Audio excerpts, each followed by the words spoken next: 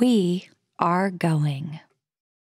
The history of this agency is marked with broken barriers, once viewed as impossible, with science fiction turned reality, with innovations that have spun industries all their own, and with demonstrations of peace for all humankind.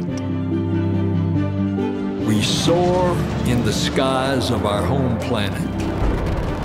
We maintain a human presence just outside of gravity, and we touch points all across the solar system and beyond.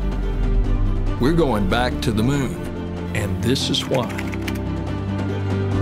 The moon is a treasure trove of science. It holds opportunities for us to make discoveries about our home planet, about our sun, and about our solar system.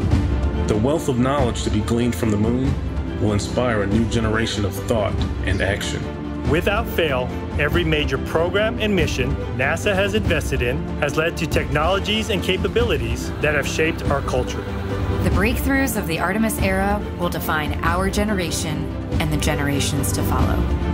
The tens of thousands of jobs associated with propelling us to the moon today are just the beginning of a lunar economy that will see hundreds of thousands of new jobs develop around the world.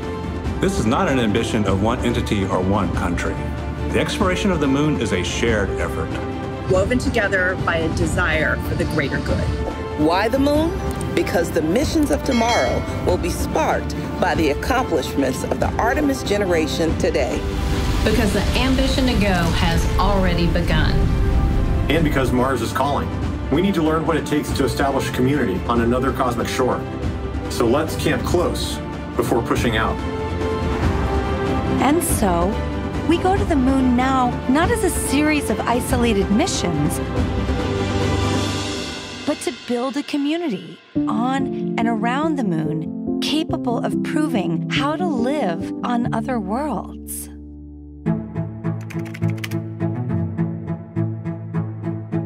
We'll use the lessons from more than 50 years of peaceful exploration to send a new generation to the lunar surface to stay. We will anchor our efforts on the lunar South Pole to establish the Artemis Base Camp, positioning us for long term science and exploration of the lunar surface. We will prove what it takes to assemble a complex ship in deep space. We will perfect descending down to and returning from a distant surface. We will learn how humans can survive and thrive in a partial gravity environment. With improved spacesuit designs, mobile habitats, and with reconnaissance robots pre-positioning and relocating supplies. We will learn how to utilize the resources we find on these other worlds, starting with finding water ice and purifying it to drinkable water. And refining that into hydrogen for fuel and oxygen to breathe. We will establish fission power plants on the surface of the moon capable of supporting a growing community of efforts. And we will expand the logistics supply chain to enable commercial and international partners to resupply and refuel deep space outposts. None of this is simple or easy, but nothing in our history ever has been. The Eagle has landed. You got a bunch of guys about to turn blue. We're breathing again. Thanks a lot. This kind of continuous lunar presence is a natural extension of all that we've learned in low Earth orbit. And what we will accomplish there will ensure the monumental missions to Mars are within reach.